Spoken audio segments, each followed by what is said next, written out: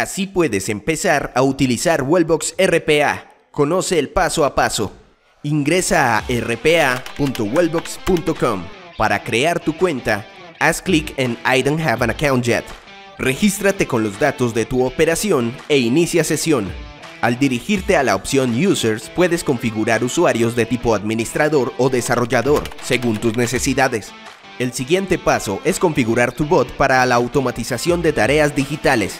Para ello, dirígete a List Bots. Haz clic en Create Bot. Asígnale un nombre, una descripción y una categoría de acuerdo con la tarea que vaya a realizar.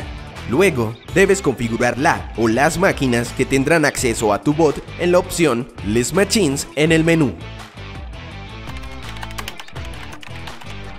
Ya estás listo para configurar los flujos que le darán vida a tu bot ingresando a rpa.wellbox.com/studio y ejecutarlos desde RPA Launcher.